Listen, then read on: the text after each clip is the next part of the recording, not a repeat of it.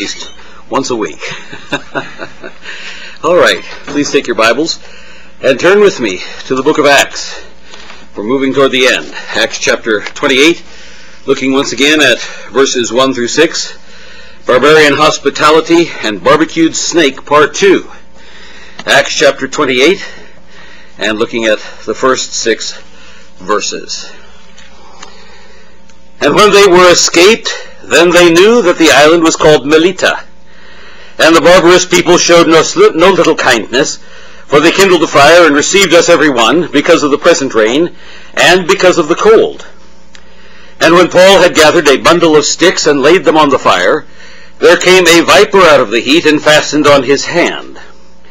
And when the barbarians saw the venomous beast hang on his hand, they said among themselves, No doubt this man is a murderer, whom thou hast escaped the sea, yet vengeance suffereth not to live. And he shook off the beast into the fire and felt no harm. Howbeit, they looked when he should have swollen or fallen down dead suddenly. But after they looked a great while and saw no harm come to him, they changed their minds and said that he was a god. Gracious Heavenly Father, as we look into this portion of Scripture, we thank you that your word is true and that it teaches us not merely interesting history, but it teaches us the basic principles of life. It teaches us the way we're to respond properly and how many times we respond improperly because we don't understand what's actually going on. Help us, Father, to learn to trust you and not to have the false gods of the world, for there are many, and we often fall into that trap even as Christians. Help us, Father, to understand what you are doing and what you are like as the true and living God. We have so many false concepts about you, so many things that we believe that are not really true, though it's quite popular in evangelical theology to believe some of them. And so, Father, we pray for the blessing that comes from you upon your word tonight, that it will go forth with clarity and power to the glory of your Son, Jesus Christ for we pray it in his name. Amen. I recall about a year and a half ago I showed a film on one of the Sunday evening specials about the lost shipwreck of the Apostle Paul. There's a boat that went down just before they got here to the island. And uh, there is a historic place, an historic place known as St. Paul's Bay, where everyone has assumed that that's where Paul was shipwrecked. And yet, a man who is a private investigator, used to following clues, said, you know, although that's the traditional popular place, it doesn't fit the text. And so he went and started looking, and he found four anchors in a different location that fits exactly what the text says. And that, I think, is a principle that we have to go forward with as we look at our study tonight, as Paul is being now, he's washed ashore. Everybody has gotten there safely. God has fulfilled his word 100%. And so as we look at this tonight, we need to say, well, what does the text teach us? What principles are we learning here that are important for us so that we'll know how to order our lives? I mean, you look at the barbarians, and they obviously started with some wrong premises. When you start with wrong premises, you come to wrong conclusions. In fact, you may come to exact opposite conclusions from what the truth is. So you must always be sure that you have the right premises.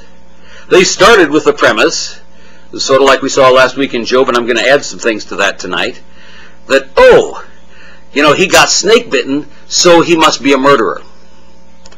And then, when he doesn't die, they say, oh, he must be a god. They started with the wrong premise, and they came to two exact opposite conclusions with the wrong premise. So when we approach Scripture, the first thing we need to remember is that if you're approaching it with the wrong premises, you will come to the wrong conclusions. We need to make sure that all foundational premises, as we approach the text, are correct. Because people who approach the text with false premises, are going to come to wrong conclusions, and they end up in all the weird cults and all the weird theologies that you see even within the so-called Christian church. So last week we added to our study on how to apply the principles we learned from the shipwreck, and particularly we added some thoughts to the principle, your example and attitude will affect others around you. We need to start with some very important basic principles concerning that. God holds us accountable for the impact that we make on other people's lives. Unfortunately, we usually start with the premise that we are number one. You know, it's all about me. Some time ago, I gave a birthday card to someone, and uh, it said on the front of it, Celebrate your birthday today because it's all about you. And be sure to have fun, and you open it up, and inside it says, Because tomorrow it goes back to being all about me.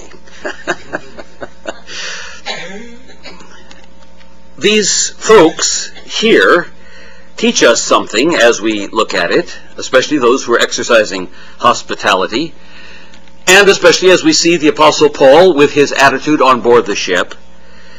His example and attitude affected others. And God holds us accountable for the impact that we make on other people's lives. And unfortunately, we're often so selfish that we only think about ourselves. But God holds us accountable for the impact that we make on other people's lives. So how do you respond to people? When uh, people do you a nice favor, are you thankful? Or do you just sort of shrug it off and say, well, I, I deserved it? That's self-centered. When somebody does something that you think was bad and you think they hurt you, how do you respond? You gratefully say, thank you, Lord. You're teaching me not to be proud. Or do you explode? Our attitudes affect others. How we respond to life affects others. How we interact with people affects others. When they see our example, when they see us where we go and what we do, when they hear our words, we are making an impact on the lives of other people. Whether saved or lost, whether adults or children, we are making an impact on the lives of other people. And God will hold us accountable for that. Now, we learned at least three things that raised some very important questions for us last week general lessons, generally applicable lessons that tell us how God often works. First, God often takes away hope. He does this in our life, and He does that in the lives of those who are struggling against Him to take away external hope so that there's nowhere else to turn except Him. Second, take away human solutions. Because some people, as you know, and sometimes we do too, try every solution possible to the problem except God, and we don't give up until there are no other options. And then third, which is really the big point, and something we all have to learn, and I spent a great deal of time on this last week. God often brings the objects of His grace, the objects of His grace, to the breaking point. God may have to bring each of us to a final breaking point without killing us before we yield to His irresistible grace. God puts up with us because we're His chosen objects of grace. You often wonder why God puts up with you? I try to reflect this character quality in God because I know He has to had to put up with a lot with me. And I say, Lord, teach me that character quality, that quality of Christ, to put up with those who are difficult to put up with. Because I was an object of your grace. They are your children. They should also be an object of my grace. Why? Because I must model Christ to them. That's a hard lesson to learn because we always like to think about ourselves first. We always want our own comfort. We always want our own stuff. We always want to be the one who's in charge, the one who's in control, the one who does it my way and not somebody else's way.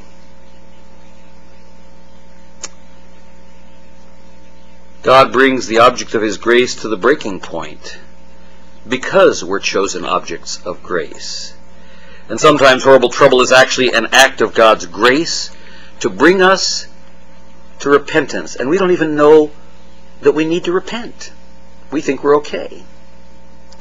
You know, that raised some big questions. First, we tried to answer the question the pagans frequently ask, since the world is so bad, why hasn't God destroyed it already if he's a just God? And we saw that Peter answered that question over in 2 Peter chapter 3 and verses 1 through 18.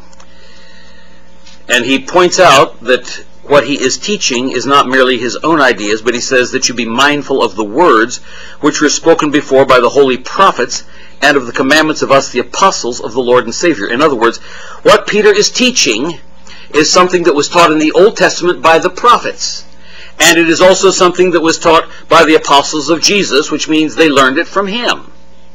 So when Peter addresses this question of how come God doesn't strike evil in the world, then Peter says, we have an answer. And it was taught before. If you hadn't been paying attention to the Old Testament prophets, if you haven't been paying attention to the Lord, if you haven't been paying attention to the apostles, let me state it for you again. And he says, don't you realize that it's going to get worse, not better? That the world is not going to repent. It's not going to all become, you know, better and better and better and more glorious until we bring in the millennial reign of Christ, the amillennial position. That's foolishness. Knowing this first, that there shall come in the last days scoffers walking after their own lusts, and saying, Where is the promise of his coming? For since the fathers fell asleep, all things continue as they were from the beginning of the creation. He says, You know what? They know better, but they refuse to believe it. Because he says, For this they willingly are ignorant of. There's a difference between ignorance and willful ignorance. Willful ignorance is stubborn refusal to accept the truth. That's willful ignorance. That's what you have in the evolutionary worldview all around us, and which is promoted in all the big universities. And if you turn out to be a creationist, they cut you off, they fire you, they sever your tenure, they will not have anything to do with you because they do not want to believe. That's willful ignorance. And that's the specific point that he makes here uh, the, the creation and also the, the great flood of Noah. They are willingly ignorant of that by the word of God the heavens were of old, and the earth standing out of the water and in the water. That's creation whereby the world that then was, being overflowed with water, perished. That's Noah's flood. That's the willful ignorance that we see today. We talked about this morning how men have hardened their hearts to the truth, and so God himself during the tribulation will send them strong delusion so that they will believe the lie, who receive not the love of the truth, but had pleasure in unrighteousness. There's a reason people reject the truth, folks. It's because they love their sin. Men love darkness rather than light because their deeds were evil. Jesus said so. It's willful ignorance. So Peter answers the question, how come God hasn't destroyed the world yet? Because he tells us the heavens and earth which are now by the same word are kept in store. God is holding it back temporarily reserved unto fire against the day of judgment and perdition of ungodly men. But, beloved, be not ignorant of this one thing, that one day is with the Lord is a thousand years, and a thousand years is one day. In other words, to you it's a long time, but to God it's not a long time. God is temporarily withholding his judgment. Why? Because the Lord is not slack concerning his promise, as some men count slackness, but is long-suffering to usward, that is, toward us, not willing that any should perish, but that all should come to repentance. Yes, the elect need to come to repentance to be saved. But you and I need to come to repentance too for the sin that's in our lives. God hasn't sent his judgment yet. And then he goes on and describes all of the judgment and he talks about the inspiration of Paul's writings and so on. So remember the context here is judgment against sin. We also find the answer to the exact opposite question of why do the righteous suffer? In Peter the issue is why don't the wicked suffer? But that's the question, the opposite, what Job asks when he as a righteous man is suffering, why is everything backwards? And so we covered some of that, but I want to at least cover the brief principles that I went over because there's material that we need to add to that so that if you're suffering, you will understand what God is doing in your life. Sometimes horrible trouble is actually an act of God's grace to bring us to repentance but sometimes it is an act of His grace to cause us to grow in our knowledge of the person and ways of God. Not just to bring us to repentance, but it's also designed to cause us to grow. I made the point last week that we need to understand that suffering is not always because of personal sin. Not always. Now, sometimes it is clearly because of sin, but sometimes it is not. Sometimes there's a direct correlation between sin and the chastening hand of God, because whom the Lord loves, he chastens and scourges every son whom he receives. But sometimes in the mysteries of the will of God, there is some suffering that relates to the unknown purposes, such as we looked at last week, the angelic war in heaven that we can't see. That's why we added some of those things last week. Somebody had asked a question about the book of Job. And we need to see that in the context of Paul and the shipwreck and the imprisonment and the almost drowning and the freezing cold and landing on a barbarian island and being bitten by a snake and having people misunderstand who he was. Paul, Paul went through it. I mean, we're talking about suffering here. I mean, we look at that and we say, woo, cool, he's, he's an apostle. Look at all the neat things he did. Folks, he was a human being, too. If that happened to you, how would you like it to be 14 days on a boat where you couldn't eat anything because all you would do is upchuck? How would you like to be scared out of your wits that you're going to drown at any minute and get eaten by fish?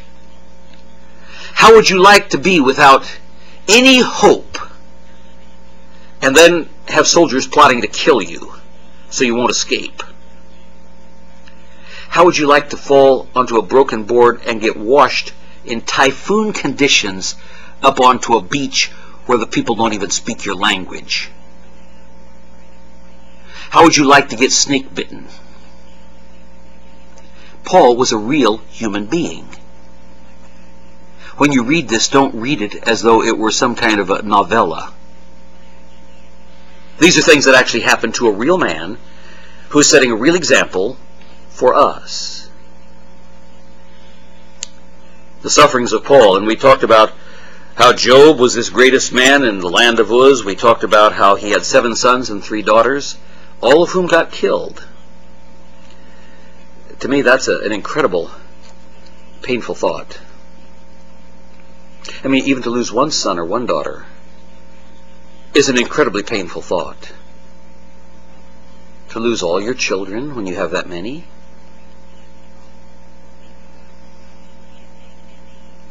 That's an incredibly painful thought. Job was a real man. Job actually went through this because Something was going on in heaven that he didn't understand. So some suffering is because of personal sin, but some suffering is because God is refining us, He's teaching us, He's making us grow, He's bringing us into a deeper relationship with Himself. He's causing us to understand His ways far beyond what we had ever imagined before. He's dragging us out of false theology and putting us into true theology. Those are different reasons that we see in the book of Job for the suffering that a believer goes through. Our responsibility is to respond properly and not improperly. And as we said last week, just like the storm and shipwreck in our text, there are no accidents in the plan of God, only incidents. Remember that. No accidents, only incidents. You serve a sovereign God. Not a sparrow falls without your Father. No accidents, only incidents. When you face something horrible, remember that phrase. No accidents, only incidents. Let me say it together with you. No accidents, only incidents. Again. No accidents, only incidents. That'll bring you back and remember what we've talked about tonight and last week. When bad things happen, it's not always because of personal sin, though sometimes it is. Sometimes it's because God is stretching us. Sometimes it's a combination of both. Job actually had some sin that we find out about at the end of the book. He didn't know that it was sin. We'll talk about that tonight because that may be our problem too. But he immediately confessed it as soon as he understood it. God was doing two things in the life of Job. God always has a superintending purpose that will achieve without fail the divine goal, even through our suffering. Let me say that again. God always has a superintending purpose that he will achieve without fail. He always reaches the divine goal. He never fails to reach the divine goal. And he will do it sometimes through our suffering.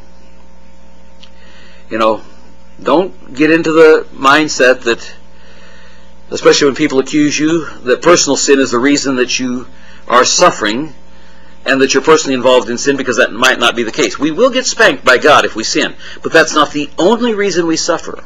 So don't let somebody put a false guilt trip on you if you suffer and you don't have current sin in your life like Job. If you've taken care of the sins the way you're supposed to, with confession and with repentance, then don't let somebody put a guilt trip on you. You have been forgiven.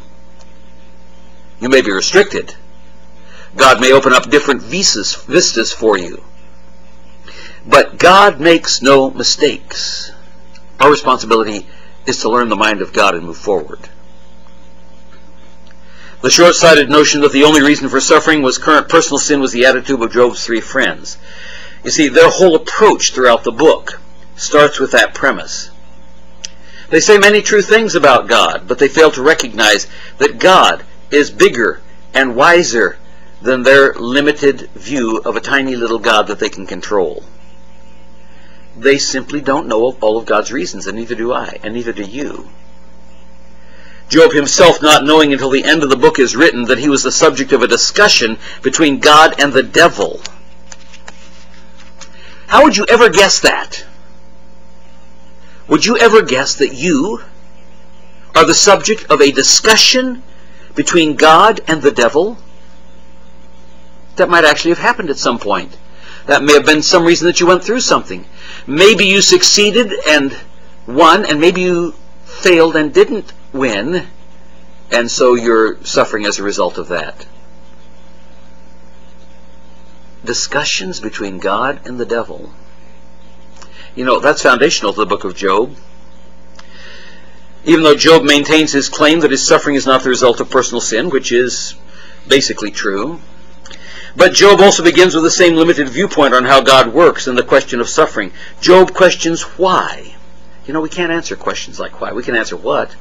But we don't always know the why. Why would God do these things to him? Because Job doesn't know of the specific sin in his life. He does have a little one. Oh, we think it's a little one. But he doesn't know it till the end of the book. He wants to talk to God about it, but even Job does not understand the bigger perspective, and that's why God speaks to him very roughly at the end of the book of Job. God's stretching Job's understanding and deepening Job's relationship with God, his creator. Did you know that when you respond properly to suffering, not improperly, you won't get the benefit of it. You'll just suffer. But when you respond properly to suffering, it opens your understanding about God and it deepens your relationship with God. Do you respond properly to suffering? I mean, what kind of suffering are you going through? Some people have physical suffering. They really do. They go through horrible physical situations. Some people have emotional suffering. Some people have suffering that comes from the, the attacks of other people, the pressures of other people. Some people have suffering that relate to family problems. Some people have suffering that relate to horrible circumstances that happen in their lives, and, and they're trying to really trying to serve God, but everything seems to be blockaded. The doors are all closed. The question is, how, how do you respond to suffering. We don't like to think about it because, you know, I suspect that most of us have the uncomfortable suspicion that if we really study this subject, if we really do, and if we really learn these principles, that somehow this sadistic God will, will bring suffering into our life and test us with suffering. And so we try to shove all that stuff away and just think the happy, positive thoughts. We just don't like to think about it. We want to avoid suffering at all costs. Anybody can say amen to that? you know it's true. You say amen in your heart. I really want to avoid suffering. You do want to avoid suffering. I want to avoid suffering. It's natural to us. We don't like to suffer. It's like the old saying, I hate the sight of blood, especially my own. You know? But it's a reality in our lives because God is conforming us to the image of Christ. Job responds properly when he's challenged by God at the end of the book. What did Job do? It said, Job says, I repent myself. You say, but Job, all the way through the book, you, you upheld your righteousness.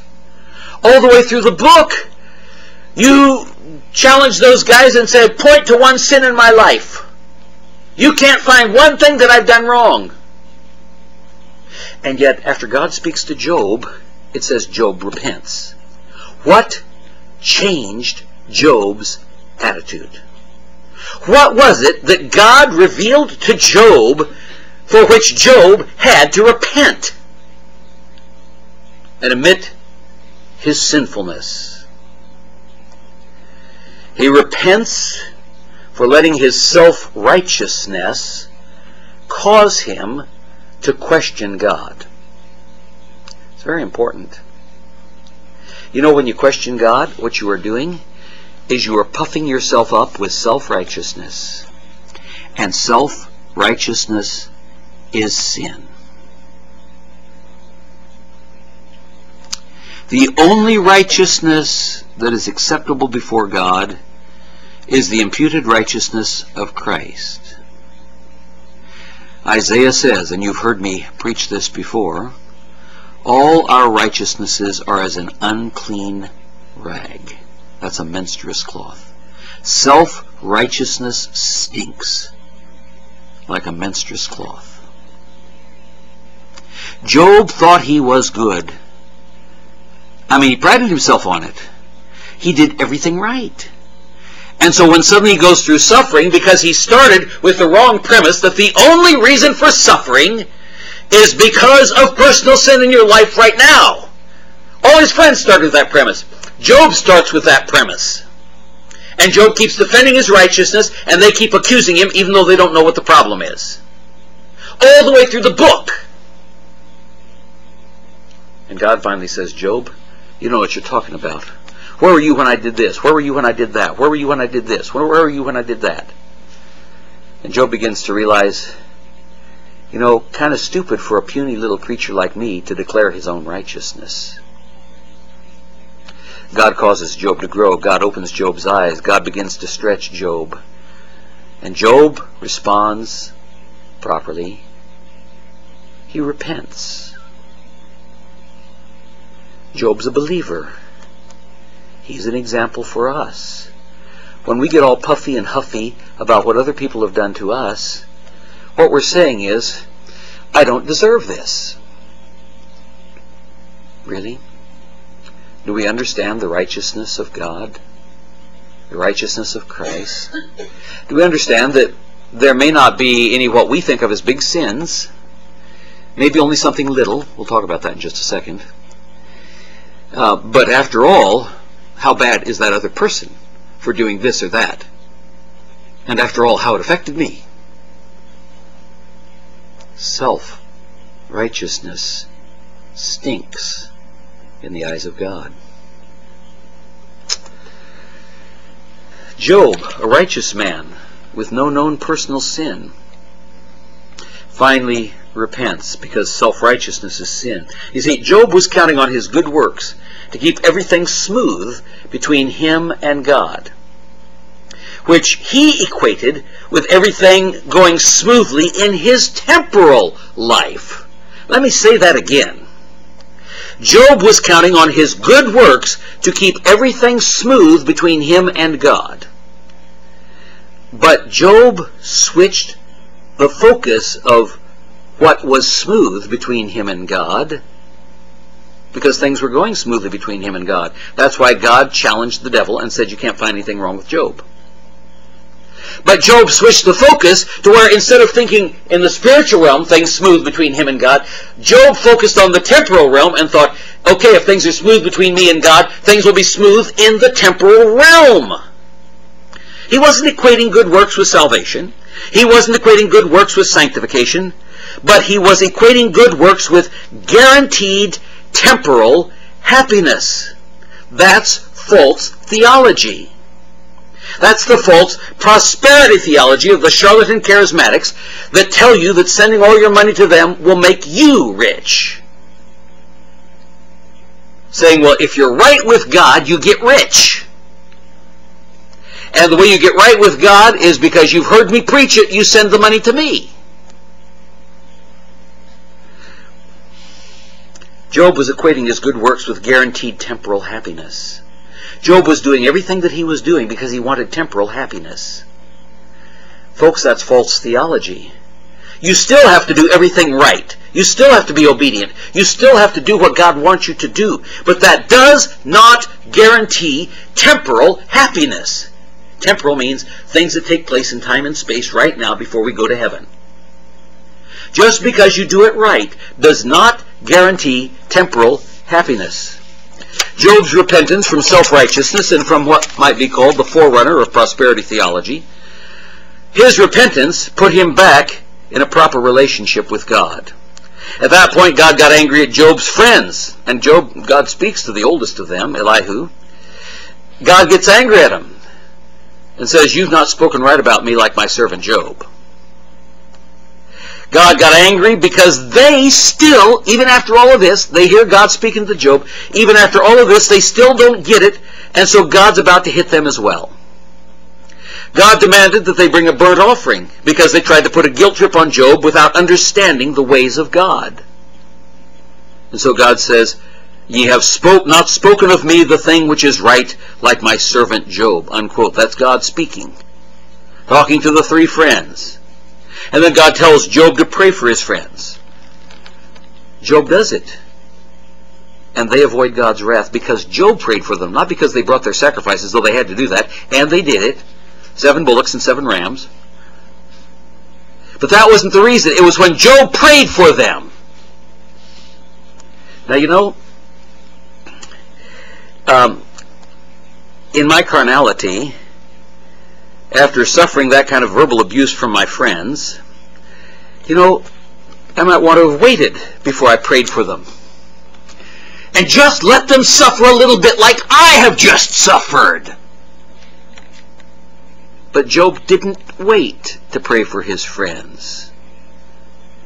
He prayed immediately, and God accepted Job's prayer for them. Repentance and confession of sin always puts you back in a right relationship with God. It also, and listen to this carefully, because this is what just happened here in Job. It also gives you a voice with God on behalf of others. If you're not in a right relationship with God, your prayers are going to fall flat. Not just your prayers for yourself, but your prayers for other people too. When you confess your sins, when you repent, it gives you a voice with God on behalf of others. That's a very important principle. You say, well, I'm, I'm really good because I don't just pray for myself, but I pray for everybody else, and I'm pretty proud of the fact that I don't just pray for myself. I, I pray for you know other people too. You know, you're getting into the problem that we see in the book of Job of self-righteousness. Self-righteousness is filthy sin. You know, as I look at the end of the book of Job, God blessed Job in the end more than he had in the beginning. he didn't bless him with a new wife. He left her there as a reminder to Job not to have the wrong viewpoint again, not to get his theology scrambled with popular notions. But God blessed him with more children. Seven more sons and three more daughters. God blessed him with wealth over his eyeballs. He had twice as much as he had before.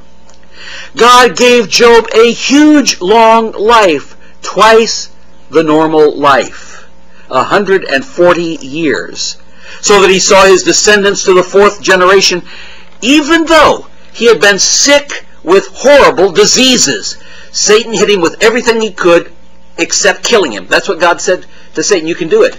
You can do anything you want to his body except you can't kill him. He not only recovered, he lived 140 years. It says here that Job's daughters were so beautiful that they were more beautiful than any other daughters in the whole world at that point. You know, it's interesting that that kind of thing is mentioned because it's a very rare comment in the Bible to comment on physical beauty especially in the context of it being good. I mean, you see Absalom, and we're told about his uh, physical prowess and handsomeness and all that, but he was a bad guy. But here, it tells us how beautiful Job's daughters were. They must have been incredibly beautiful uh, to have that kind of a comment. But now let me give a warning. Be very careful. I am not teaching, and the book of Job is not teaching, that if you follow this like a mechanical formula, you will get rich and have lots of kids and live a long life. That's not the point that Job is making, and that's not the point that I'm making. That's the kind of theology that got Job and his friends into trouble in the first place.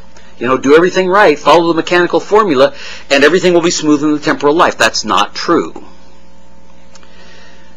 Last week I mentioned that the book of Job is important for us because James tells us so in the New Testament in James chapter 5. We talked about how many times uh, he speaks of the patience of Job and how many times the word patience is mentioned in five verses, and endurance and suffering endurance and so on. Five times patience and waits endureth and suffering afflictions are also mentioned in the same passage.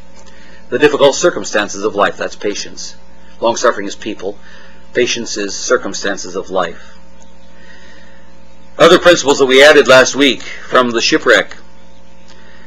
The passengers on the ship proved they believed the promises of God because they were willing to give up all their temporal goals of making money, and they were willing to give up all their personal possessions. They were willing to leave it all behind for the only important thing that mattered, their lives. I want to add some stuff to that this week.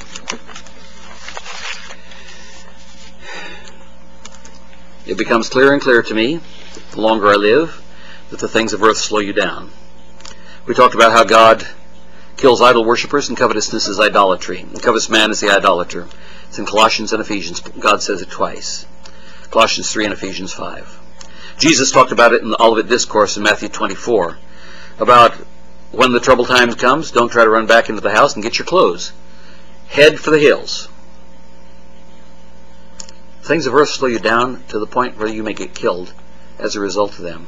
You know, it's happened to many people. Their houses have been burning and they ran outside the house and they thought, oh, such and such is still inside the house. It doesn't look like it's too bad a fire yet. I'm going to run back inside and get it. And they ran back inside and the house collapsed and killed them. That has happened countless times in history and you've heard it on the news even here in the United States. Things of earth, even little things of earth, tie you down and it may end up with you dead.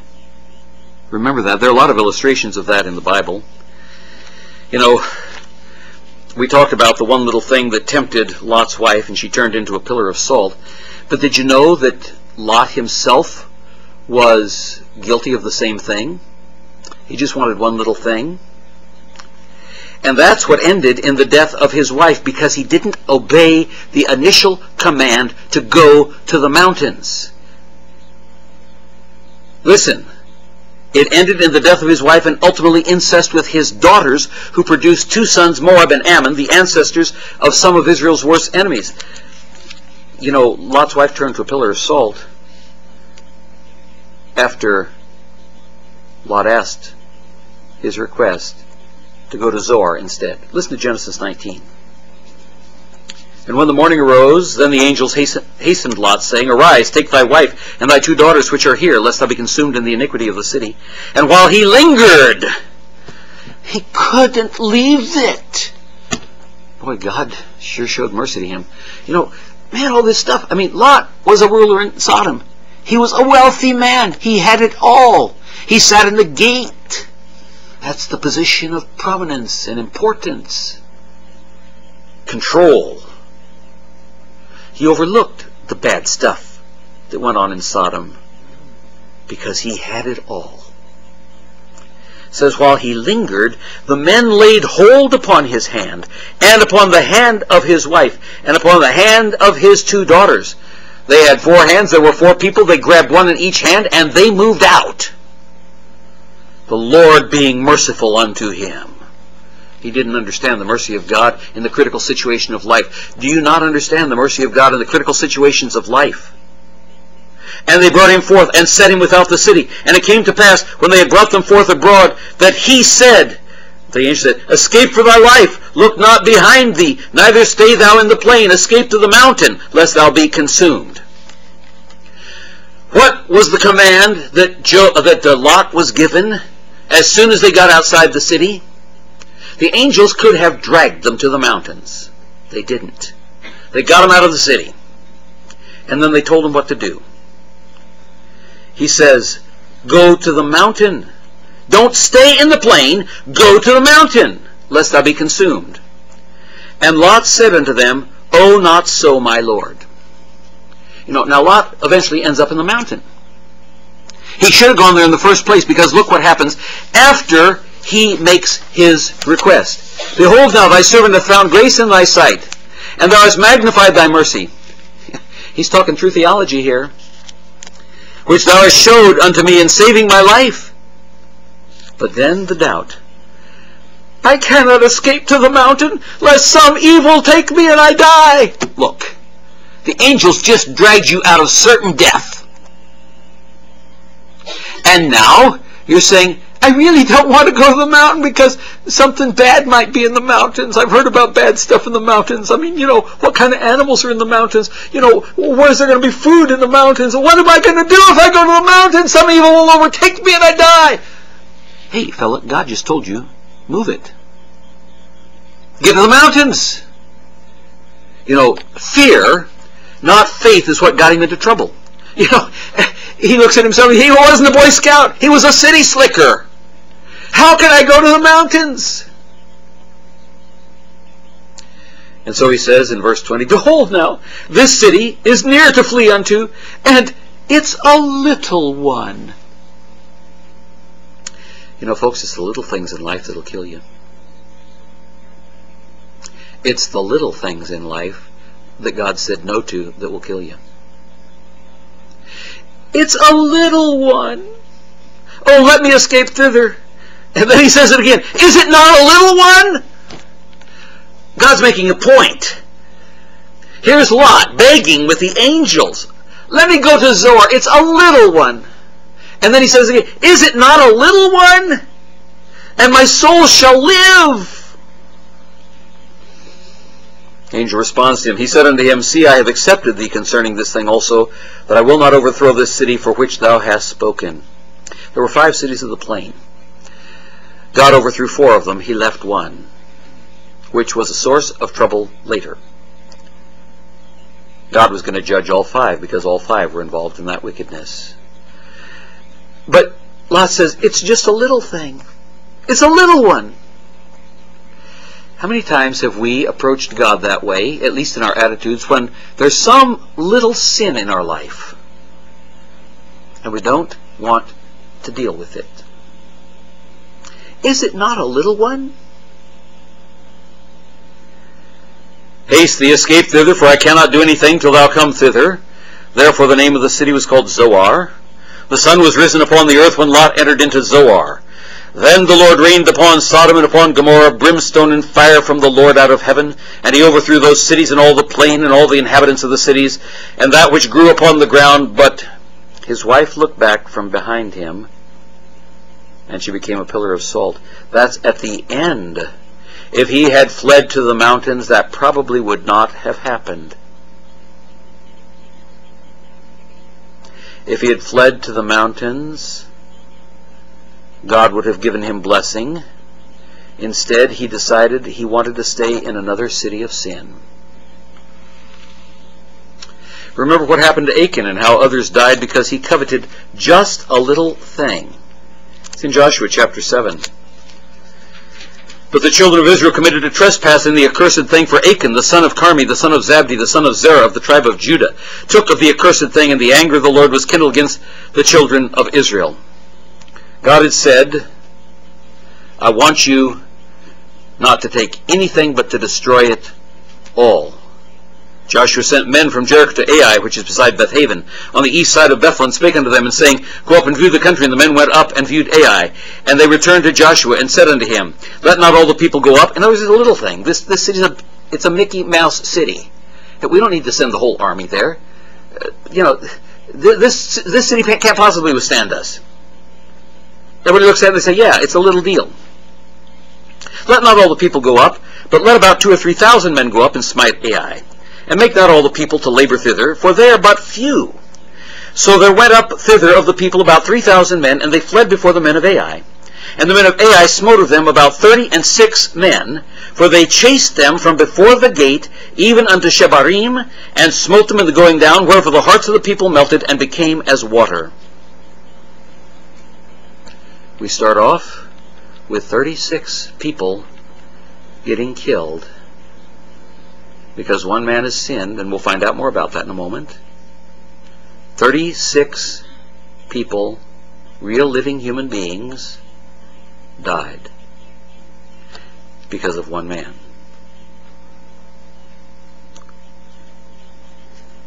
Joshua rent his clothes and fell to the earth upon his face before the ark of the Lord until the eventide, he and the elders of Israel, put dust upon their heads.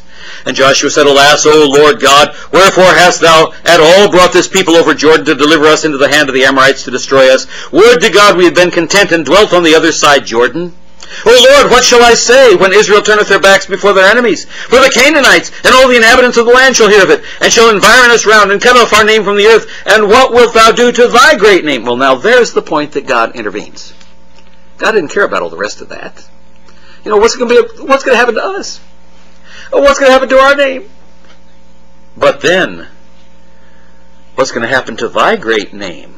It's at that point that God answers Joshua. You see, God doesn't care about your name or my name, or how cool we are, or how much, you know, suave we have. But He does care about His own name. If His name is going to be dragged through the mud, He cares about His name. The Lord said unto Joshua, Get thee up. Wherefore liest thou upon thy face?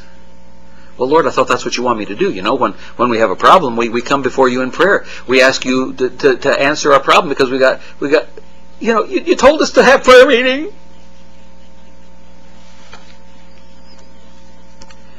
God says, hey, if you know what the problem is and you can do something about it, do something about it. Don't cry out to me when you have responsibility. That's a very important principle. We keep asking God to do stuff that He's told us to do. We can ask Him for help in doing it. But if God tells you to do something, you have to do it. God makes it very clear in His Word what things we are to do. The Lord said unto Joshua, Get thee up, wherefore liest thou thus upon thy face? Israel hath sinned and they have also transgressed my covenant which I commanded them. For they have taken of the accursed thing, and have also stolen and dissembled also, and they have put it even among their own stuff. In other words, they really hid it pretty good. Therefore the children of Israel could not stand before their enemies, but turned their backs before their enemies, because they were accursed. Neither will I be with you any more, except you destroy the accursed thing from among you. Now listen, this was a little thing. And what did God just threaten there? He said, I won't be with you anymore unless you destroy the accursed thing. Because I told you to destroy everything.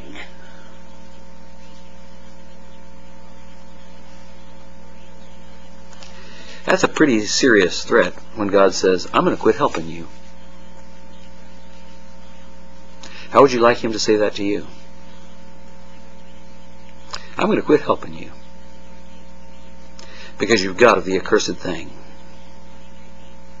up, sanctify the people, and say, Sanctify yourselves against tomorrow. For thus saith the Lord God of Israel, There is an accursed thing in the midst of thee, O Israel. Thou canst not stand before thine enemies until ye take away the accursed thing from among you. One little thing can keep you from any success. Do you understand that?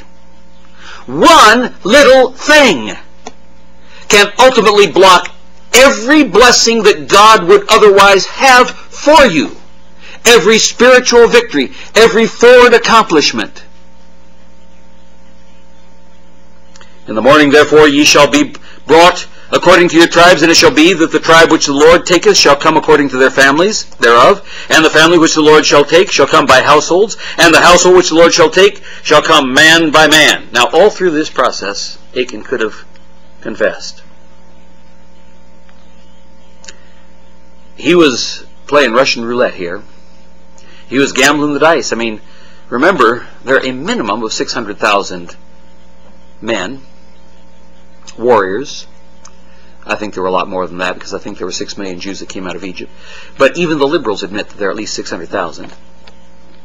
So he's thinking, man, what are the chances, 1 in 600,000, that they'll land on me? Have you ever played the odds against God? Do you know that God always wins? And you never win? It's not 1 in 600,000. It's one chance in zero.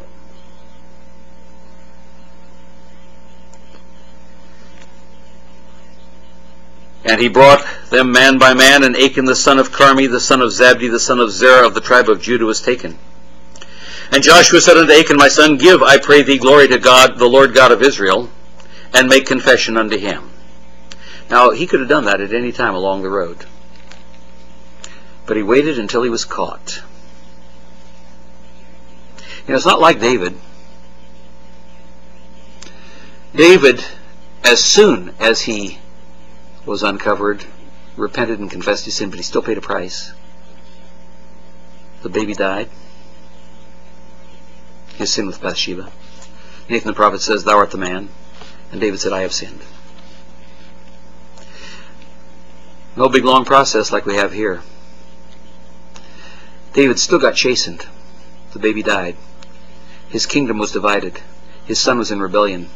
He ended up losing four sons because he had pronounced a fourfold curse on the man who had taken the friend's sheep and killed it and eaten it. He lost four sons. Even though he instantly repented, Achan did not. But because David did, God said, Thou shalt not die. But Achan did. Achan answered Joshua and said, Indeed, I have sinned against the Lord God of Israel, and thus and thus have I done.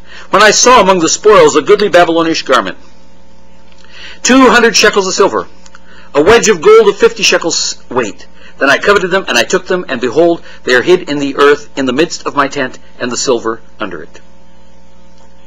Now, how would you like to die for one set of clothes? A really fancy dress or a nice suit? And um, 50 silver dollars, or 200 uh, silver dollars, and a big gold coin. How would you like to die for that? You know, I think if Achan had thought about it in advance and known the conclusion, he would have said, whoa, you know, that's really nice. I would really like that that suit. That is so cool. I will look so cool in front of my friends. They will say, "Man, Achan, where'd you get that?" Well, you know, I'm I'm pretty conservative with my money, and uh, uh, you know, well, we were trading with these guys. Right. He died for a fancy outfit, fifty silver bucks, and a chunk of gold. Just a little thing so Joshua sent. Well, we'll confirm it. You know, a lot of people confess uh, when they're in a tough situation, even when they didn't do a crime. You know, people who are like that. I know some people who have confessed the things they didn't do simply because they just want to get out of the police station. Joshua sent messengers, and they ran unto the tent, and behold, it was hid in the tent, and the silver under it. And they took them out of the midst of the tent, and brought them unto Joshua and unto all the children of Israel, and laid them out before the Lord. And Joshua and all Israel with him took Achan, the son of Zerah, and the silver, and the garment, and the wedge of gold, and his sons and his daughters, and his oxen and his asses, and his sheep and his tent, and all that they had. And they brought them into the valley of Achor. And Joshua said, Why hast thou troubled us?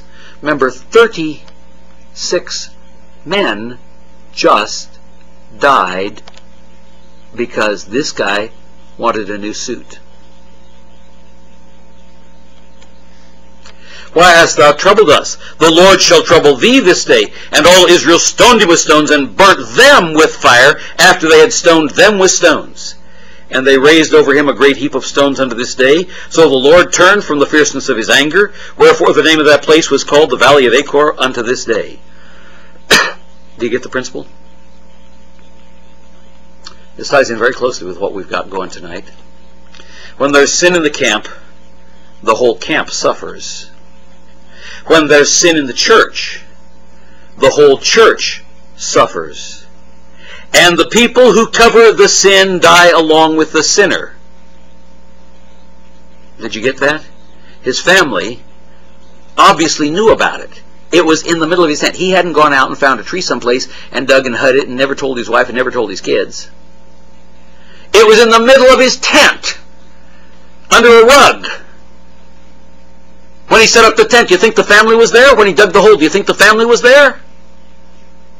When he put it back over, he says, shh, don't tell anybody about this. Do you think the family heard him? But remember the balancing principle that we've just studied. Not all suffering is a result of personal sin. However, personal sin can result in being the sin unto death, and we've talked about that a good deal before. You know, that same incident is mentioned again in Joshua as a warning to the people in chapter 22, all the way down 15 chapters later. Did not Achan the son of Zerah commit a trespass in the accursed thing, and wrath fell on all the congregation of Israel, and that man perished not alone in his iniquity. Achan's kids and his wife died with him because they knew the spoil was there and they hid it. It's the little sins that kill you. It's the little stuff that you overlook every day. Or as Solomon put it, it's the little foxes. They're the ones that spoil the vine. Song of Solomon 2.15, Take us the foxes, the little foxes that spoil the vines, for our vines have tender grapes. The Bible guarantees that your sin will find you out. Numbers 32:23. But if you will not do so, behold, ye have sinned against the Lord, and be sure your sin will find you out. It's a fascinating word that's used here, the word that's translated find you out. That's a word that is used to describe a vicious wild animal that stalks its prey until suddenly it strikes and rips the terrified prey to shreds. Your sin will be like a wild animal that stalks you and stalks you until suddenly it attacks you and rips you to shreds as you scream in terror. Notice, people misread this verse. They say, well, somebody will find out about your sin. That's not what it says. It does not say someone will find out about your sin, although that often happens. It says that your sin, like a wild animal that stalks you until it kills you. I can't believe our time is up. I'm giving you foundation, background. Why do the things happen to the Apostle Paul? And why could Paul be absolutely calm about it and not question God? Because he had the perspective that Job and his three friends didn't have starting out in the book, but what Job comes to, and which we are supposed to come to when we reach the end of the book. Our gracious Heavenly Father, again we thank you for the time you've given us tonight to study very important principles and how you deal with us and how we should respond properly when times of difficulty and suffering come and how you use it to expand us and cause us to grow and draw us closer to yourself and give us more than we could ever ask for. All that we could hope or think is way smaller than what you have in store for us and the blessings that you guarantee and the eternal rewards when we are so focused on temporal things. Help us to remember it's the little things that kill us. It's the little things that gnaw away at us, the things that we overlook day by day. The things that tend to be in our lives and we don't care. Job just had a little thing. He had self-righteousness. But because of it, at the end of the book, God had to speak harshly to Job. And Job responded properly. He repented. And he not only got back in fellowship for himself, but then he was a means of praying for others. God heard his prayer when he was in fellowship with God. And Father, sometimes we wonder why you don't hear our prayers because they're focused on ourselves. They're focused on temporal things. They're focused on the things of earth. And we're really not in fellowship with you, we just want. And you say no to us. Father, help us to learn so that when we face the kinds of things that the Apostle Paul went through, even such horrible things as being driven around on a boat that's going to wreck and then almost drowning and then being washed up on shore and being bitten by a snake and having people think all kinds of stupid things about him. Being incarcerated and wrongly so. Yet he never lost faith in you. He went through it because he knew that you were in control and that there are no accidents in the plan of God, only incidents. Help us to learn that as well so that we might serve you more faithfully. For we pray it in Jesus' name. Amen. Our closing hymn for tonight is number 344, and much in line with what we've just studied. Grace greater than our sin. Number 344. The grace of God is what sometimes brings us through the points of suffering because